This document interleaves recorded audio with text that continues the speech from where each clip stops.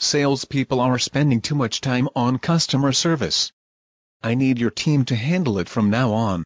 Sorry, my people are too busy completing current work. We need time to focus on making sales. Otherwise your people will run out of work to do. Yes, but isn't maintaining the relationship with clients just as important as making more sales? Well yes, but I can't see how we can do both. Well, we can't handle customer service on top of our current workload either.